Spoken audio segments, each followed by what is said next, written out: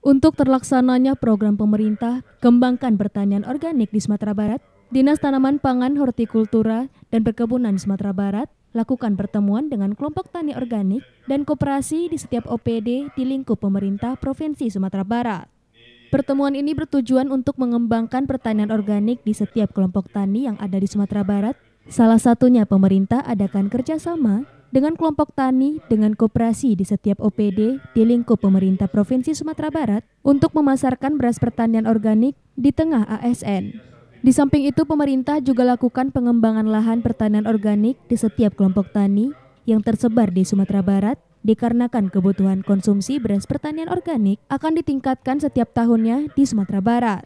Ditambah lagi pemerintah lakukan percepatan dan pengembangan lahan agar ke depannya bisa memenuhi kebutuhan pangan sehat dan berkualitas di tengah masyarakat ke depannya, ditambah lagi dengan adanya pertanian organik dapat meningkatkan penghasilan dan pendapatan petani organik di Sumatera Barat.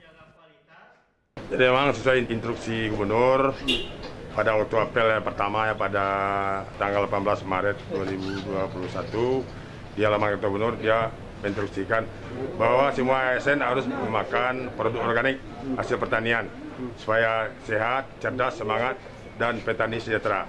Di uh, eh, ASN di Sumatera Barat ini jumlah 18.864 gitu.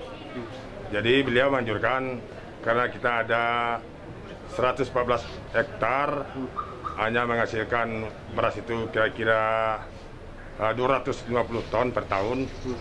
Dia menginstruksikan agar uh, ini tidak mencukupi semua ASN yang punya jabatan-jabatan eselon 2, eselon 3, eselon 4 ya dianjurkan terlebih dahulu untuk makan produk organik.